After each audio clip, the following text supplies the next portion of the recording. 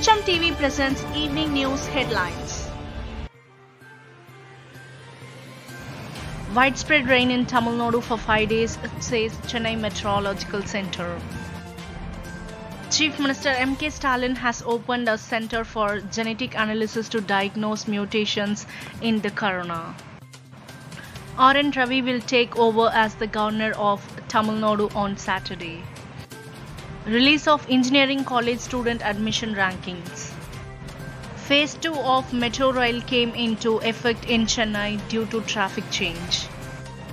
People will be forced to wear masks throughout the next year, Finance Commission member informed. Production of a supersonic missile jointly developed by India and Russia in the BrahMos region. Federal government cancels 100 km speed limit on national highways.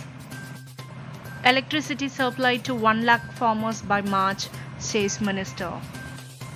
High speed broadband internet program Falcon 9 rocket launches with 51 satellites.